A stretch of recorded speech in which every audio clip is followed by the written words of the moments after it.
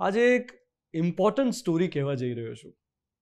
એક એવી સ્ટોરી જે સાંભળ્યા પછી તમે કોઈ બાળકના મમ્મી પપ્પા હશો તો કદાચ તમે મને થેન્ક યુ કહેશો. તમને એટલી બધી નિરાહત થશે કે પૂછો નહીં. બે મિનિટ with બે મિનિટ with રેડિયો તમારી સ્ક્રીનમાં. વાતો મીઠી કરશે બે જ મિનિટમાં. બે મિનિટ Dwanit બે મિનિટ Dwanit જો તમે એક નાના બાળકના મોમ ડેડ હો, તો ધ્યાનથી આ વાત સાંભળો મારી.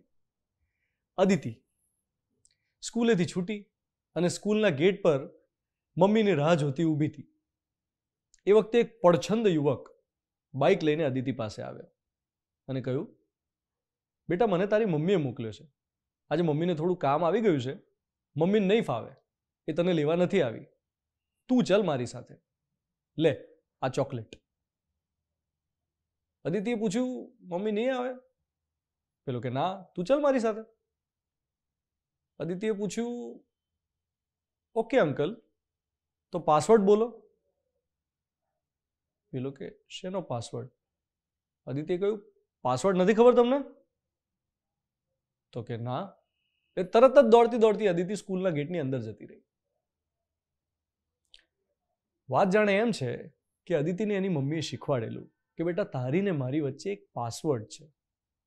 મારા સિવાય કોઈ પણ સ્ટ્રેન્જર તને લેવા માટે આવે, તને ચોકલેટ આપે, તો તારે પાસવર્ડ પૂછવાનો. જો એને પાસવર્ડ ખબર ના હોય ને, તો સીધા સ્કૂલ ગેટની અંદર જતા રહેવાનું. એટલે ઘણા મા બાપ એવા હોય છે, જેમને એક ડર અંદરથી સતત રહેતો હોય કે મારું બાળક ક્યાંક એકલું હોય, એ પછી ઘરે પાછું તો આવી જશે ને? એને ઘરે આવવામાં કોઈ પ્રોબ્લેમ તો નહીં થાય ને? કોઈ ક્યાંક લઈ તો નહીં જાય ને મારા બાળકને? આવા બધા જ પેરેન્ટ્સ માટે આજની ટીપ તમારા અને બાળક વચ્ચે એક સિક્રેટ પાસવર્ડ રાખો, જે માત્ર તમને અને એને જ ખબર હોય. આંતરે દિવસે આપણે ત્યાં બાળકો ગુમ થવાની ઘટના થતી હોય છે. કદાચ એક આ નાના પાસવર્ડથી એને નિવારી શકાય. બે મિનિટ with Dwanit બે મિનિટ with Dwanit